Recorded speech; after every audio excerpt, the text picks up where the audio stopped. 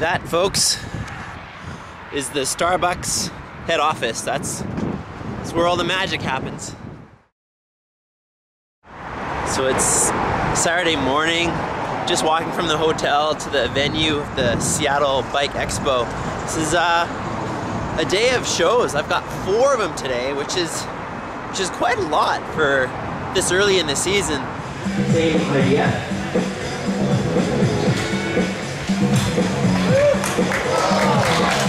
We're here at the Seattle Bike Show, uh, just showing some new product. It's our first consumer show for the 2008 season. Uh, this is something brand new. Nobody's seen this up until this weekend. This is the new VPS 5, uh, based on Ben Boyko's uh, input on what he wants for the ultimate slopestyle bike for the 2008 season. You want to deepen that? Or?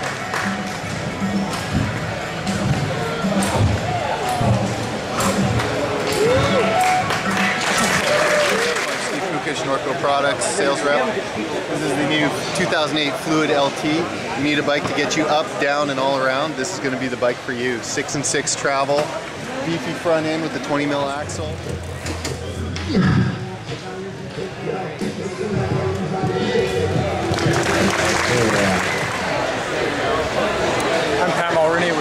Norco Performance Bikes, and uh, check out this brand new uh, 250 street bike uh, RockShox Argyle fork, 4130 steel tubing, externally machined tubing to get this thing ultra light, single speed. This is what all the kids are going to be riding this year.